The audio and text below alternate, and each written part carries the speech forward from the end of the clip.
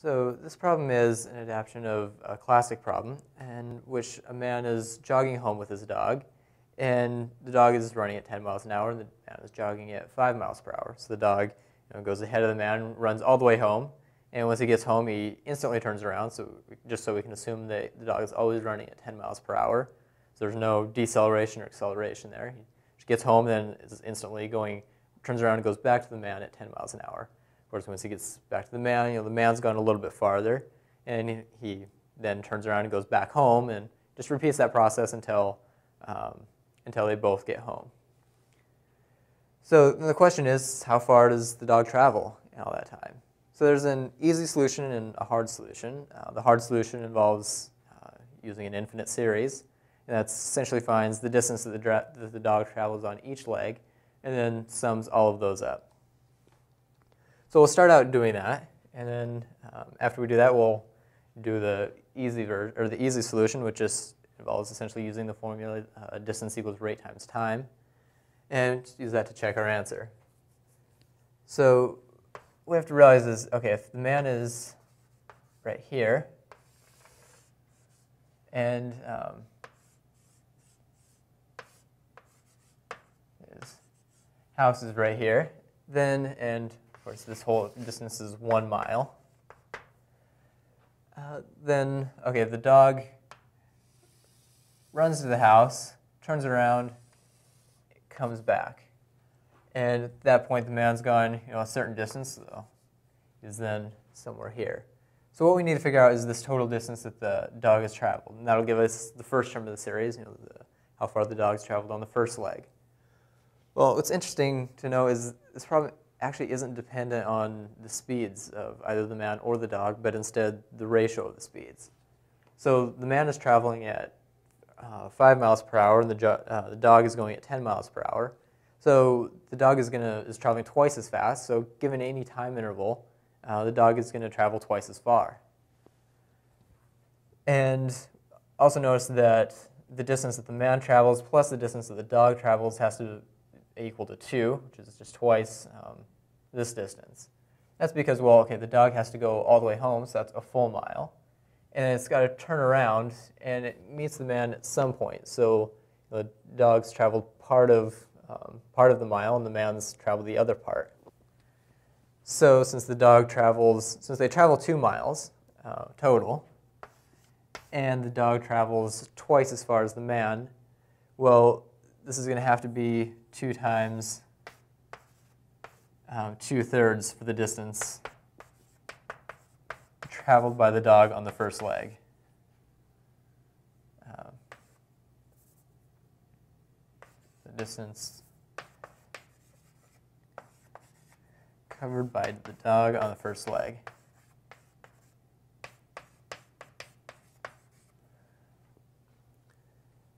So now they're, at which point they're here, and the process repeats all over again, except that now the whole distance isn't a mile, it's shorter. So we also need to figure out what that distance is. So it might help to do this problem in a little bit more generality. So instead of saying one mile, um, let's call this uh, this distance dk, where dk is the distance between the man and the house, man the house at the beginning of uh, the kth leg. So I clearly, um, d sub 0 is equal to 1. Uh, d sub 1 is equal to, uh, well, we know that if the dog travels um, 2 times 2 thirds, so this is 4 thirds um, of a mile, and they both travel 2 miles, or their combined distance is 2 miles, well, the man has to be traveling um, 2 minus 4 thirds, which is 2 thirds. Um, is that correct? Let's see.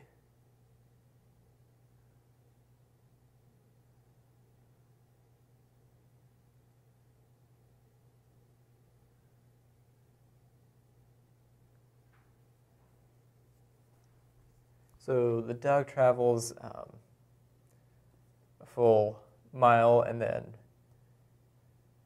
back, so he travels four thirds. Right, so the man does travel, okay, so the man travels two thirds, but we're interested, um, so after the first mile, not in the distance that the man has traveled, but the distance remaining from the man to the house. So if the dog travels four thirds, now not of one mile, but of two miles. So on the kth leg, the dog travels um, two times uh, dk, which is the distance remaining on the first leg, right? So we have um, now instead of the distance traveled by the man and the dog having to sum to 2, it should sum to 2 times the distance from the man to the house at the beginning of the leg. So it should be 2 times dk, and the dog travels 2 thirds of that distance. And so this is 4 thirds dk. And now it's a similar thing. We have 2 minus, or 2 dk, which is the total distance traveled. Um, subtract it off, by, or subtract off the distance traveled. Um, subtract off the distance traveled by the um, dog, which is 4 thirds dk. So this is 2 thirds dk. So this is distance traveled by, since um, oh, man traveled on the kth leg.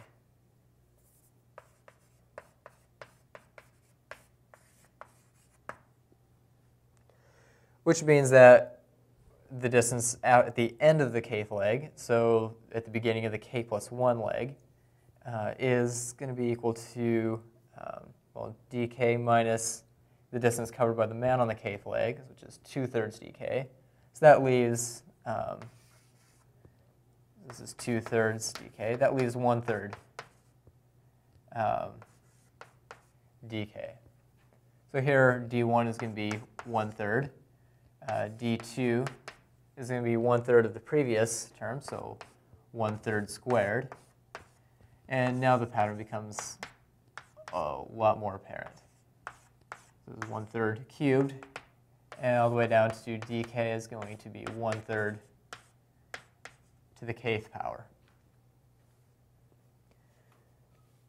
So, seems like we've done a, done a lot of work here, and you may be wondering exactly where we are in the problem, because still haven't really figured out um, figured out a formula for the infinite sum of all the legs that the that the dog covers. But let's see if we can figure that out now. Since we have a little bit more information, we know. Uh, let's before we do this, let's think about the first couple legs. So remember that the dog you know, starts out, the man goes out to the house and comes back. Well, the total distance that he travels is um, 2 times 2 thirds um, dk. Well, we know what dk is, and this is the formula we had before that I just erased. So this is the distance traveled by the dog on the kth leg. Now we know what dk is. So we can write this as 2 times 2 thirds um, dk. So this is 1 third. This is equal to, or 1 third to the kth power, excuse me. So this is equal to 4 times 1 over, or 1 third to the k plus 1. So this is the distance traveled by the dog on the kth leg. We're interested in the sum of uh, the distance covered on all the legs. So this is going to be the sum from k equals 0 to infinity um, of 4 times 1 third to k plus 1. Notice that it's all right for us to go from k equals 0 to infinity. Um, if we plug in 0, then we just get um, 1. So we see that our first term is equal to 4 times 1 third of the first power. That's just 4 thirds, which is, agrees with our original calculation that if the, dog, if the total distance combined by, or total distance traveled by both is 2 miles, and the man is traveling half as fast as the dog, then the dog has to travel two times uh, 2 times 1 times 2 thirds. So this is 4 thirds. And Then we add uh, plus 4 over 1 third to uh, k equals 1, so this is 1 third squared, so 4 ninths. And now you can see quickly that this is a geometric, or almost a geometric series. It's just missing the um, four. It's just missing four times one. So if we factor out all the fours and add in that term that we want to have to make it a geometric series, so one, we'd also have to add minus one. So let's add minus one plus one plus four thirds plus four ninths plus um, dot, dot. Well, this is equal to, um, write this up here.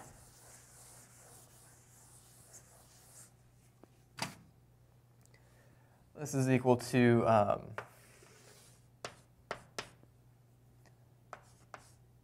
four times minus one plus, um, should all be ones, not fours, since I factored out the four, uh, plus sum from k equals uh, 0 to infinity of uh, 1 third to the kth power. Now, since 1 third is um, less than 1, we can use the sum for the geometric series. We get 4 times minus 1 plus 1 over 1 minus a third. So 1 minus 1 third is 2 thirds.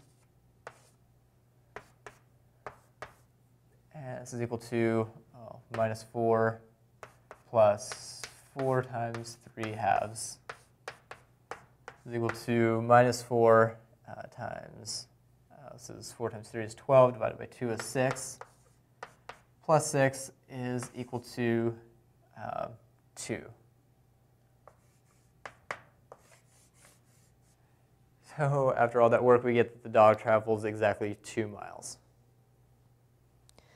That was the hard way. Um, so it took a lot of work figuring out a formula for um, for the distance covered by the dog on each leg, and then we had to sum the infinite series and kind of adjust it so we could use the um, so adjust it so we could turn it into a geometric series, and that was kind of a little messy, a little painful. Well, it turns out that there's a lot easier way. Um, so how far does the dog travel? Put the answer down here, two miles.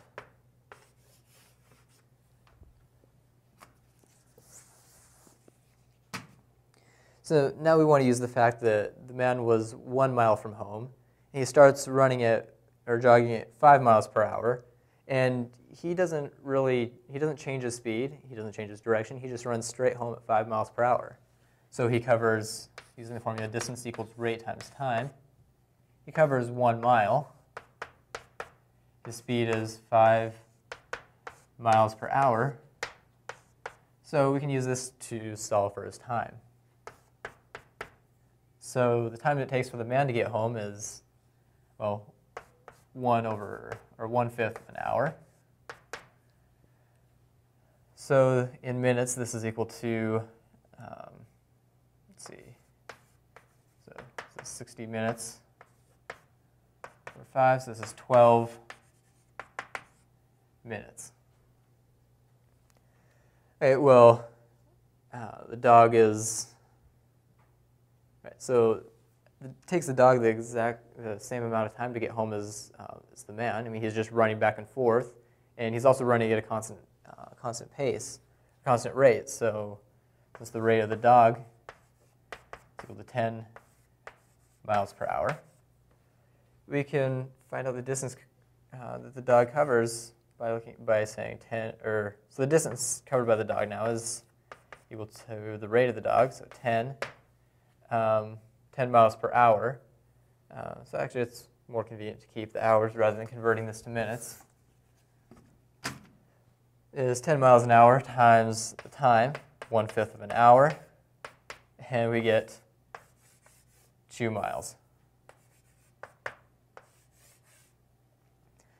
So if you were given this as kind of a puzzle and you saw this trick that the, takes the man and the dog the same amount of time to get home, you can easily figure out the time that takes the man to get home since it's he's running you know, one mile at five miles per hour. It's, it's going to be one fifth of an hour, and the dog's running at a constant pace. So you can just figure out how fast or how long the dog uh, or how far the dog uh, will travel in that amount of time since he's always going at 10 miles per hour.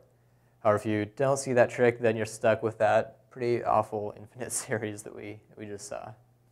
But either way, dog uh, runs two miles total.